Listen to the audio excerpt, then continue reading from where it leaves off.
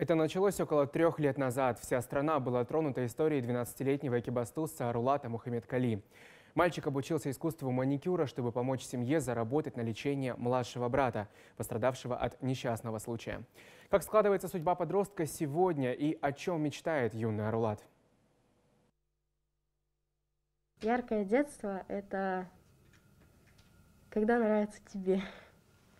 Э, чем ты занимаешься, если она тебе нравится, то занимайся этим. Будучи ребенком, он взвалил на себя отнюдь не детскую ношу, однако поразительно другое. С какой легкостью Арулат справляется со всеми задачами и обязанностями 15-летнего подростка, имея при этом трехлетнюю карьеру в качестве мастера ногтевого сервиса. Понедельник просыпаюсь, бегу на танцы, э, бегу домой, бегу в школу, после школы иду домой, принимаю клиента и помогаю родителям по дому.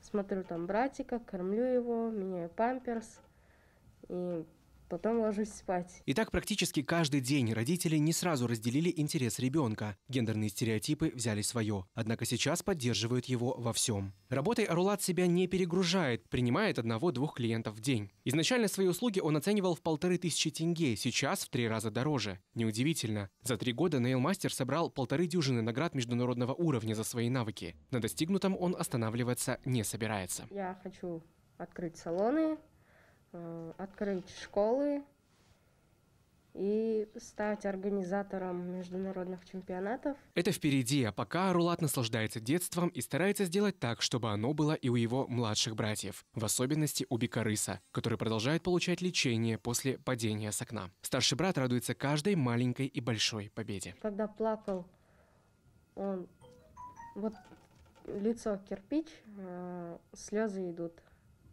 получается, вот так стоит, а слеза течет. И сейчас он радуется, плакает, кричит, подает знаки. Добрейшей душе ребенка не чужда благодарность. Он слышит зов тех, кто в нем нуждается. Поэтому помогает Арулат не только своей семье. Я покупал хлеб раньше э, и оставлял в лавке добра. Хочешь кому-то сделать добро, просто положил, вот так раздал.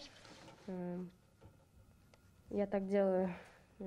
Я раскладываю хлеб по полочкам и объявляю это в Инстаграме. То, что вот в Булашаке, в Иртыше я оставил хлеб.